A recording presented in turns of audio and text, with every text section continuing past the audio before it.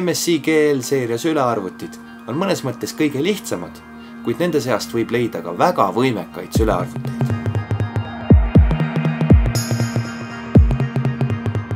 MSI standarditeks muutunud lisad on GL seeria arvutitel ikkagi olemas.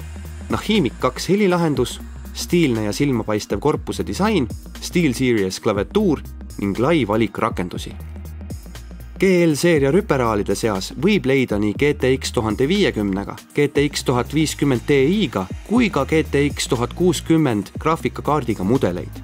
nii et võib öelda, et tegu on kõige laiema valikuga MSI sülearvutite seeriaga.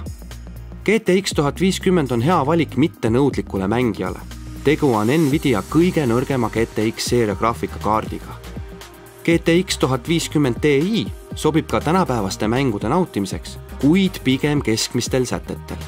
GTX tuhande kuuekümnega rüperaalid jooksutavad ka uusi mänge kõrgetel sätetel.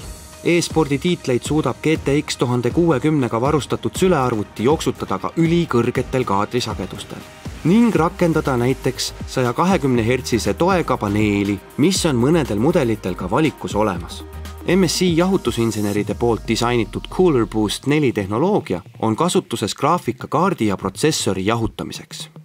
Kaks võimsat ventilaatorit jahutavad kuut soojustoru, mis on graafikakaardi ja protsessoriga otseses kontaktis.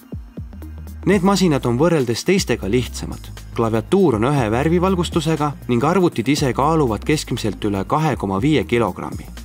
GL-seeria arvutite hinnad algavad tuhandest eurost ning küündivad kuni tuhande kolmesaja euroni. MSI GL seeria on kõige laiema valikuga.